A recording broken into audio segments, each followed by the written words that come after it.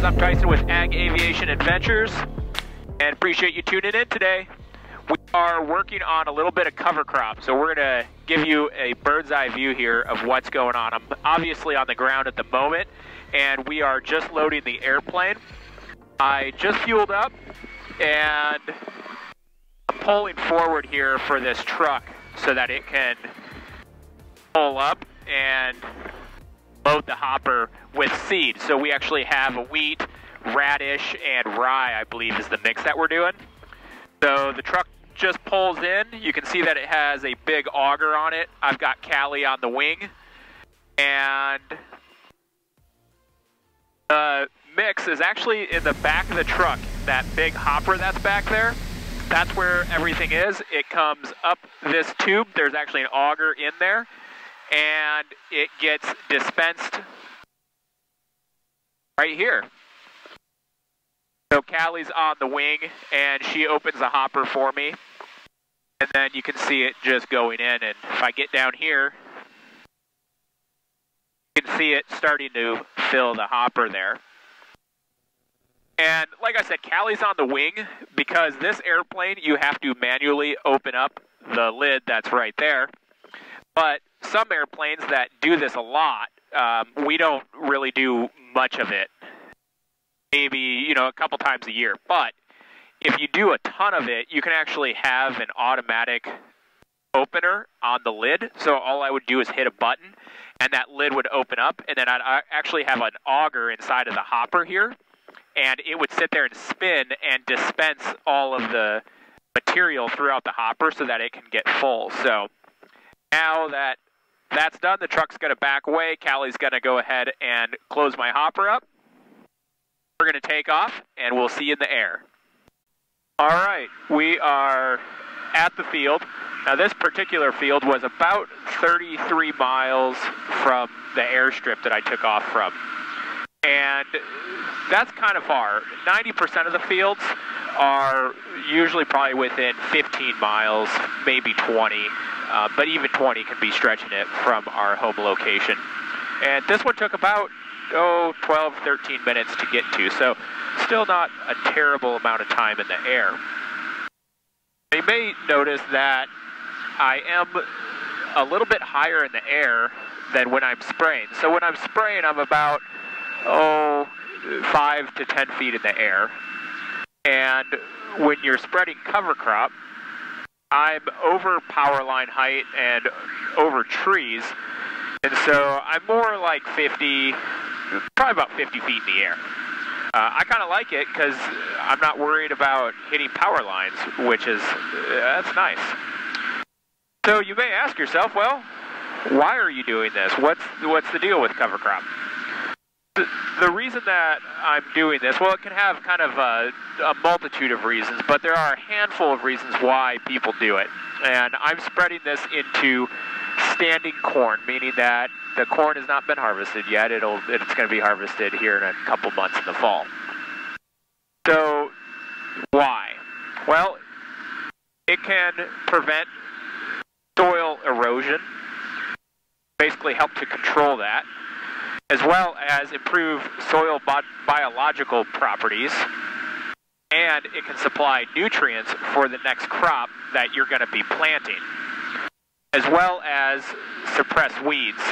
And that one is because if the soil is just completely bare, it has a chance for weeds to overtake the entire thing. But if there's cover crop there, then that cover crop is also fighting with the weeds for control of the soil. So it basically helps to suppress the weeds that may want to grow in that barren soil. And it can also break pest cycles. Pests will actually, you know, if you're like, oh, I'm, I'm planting soybeans, and then I'm planting corn, and then I'm planting soybeans, and then I'm planting corn, you can always kind of have a problem with pests that come and go between these crops. But if you throw something in there like a cover crop, that can help to break that cycle so that you're getting rid of those pests.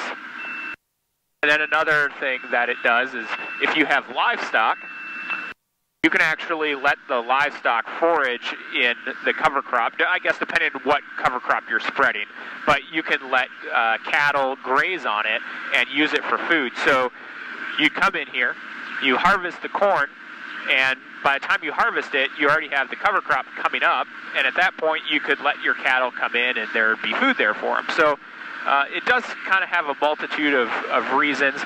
I think soil control is a really big one, as well as the nutrients for the soil. And uh, if you, you may hear this, I imagine you do, that buzzing sound in the background, that's uh, my stall warning horn going off on the airplane if you're ever wondering exactly what that is. Uh, I think you saw the spreader and stuff, and I apologize because we had a really cool shot. We had a GoPro set up on the spreader so you could kind of really see the action because I know right now you can't see anything. It's a very light amount that's coming out. I'm, I'm currently putting out 14 and a half pounds per acre. And so I know that you can't see anything, but we were going to have this awesome shot outside the airplane. Uh, however, on the way to the field, the GoPro decided to depart the airplane and take flight on its own. So it's somewhere uh, between here and 33 miles that way. Our name and phone number is on it, as long as an email, as well as an email address. So if you guys find it, feel free to return it. It's in Minnesota somewhere. Now, with the cover crop, this is a little bit lighter of a load, so in the hopper, I only have about 2,000 pounds. If I'm sprayed and I have a full hopper, I have about 4,000 pounds in the hopper. And the reason for only having 2,000 pounds is because I can't physically fit any more seed into the hopper. It's full. I'm not full on weight, but I'm full on volume. Uh, also, if you're like, wow, 2,000 pounds, uh, how much is that? Well, a sedan, like your four-door sedan, is probably uh, less than 3,000 pounds, probably around 2,800, maybe 2,500.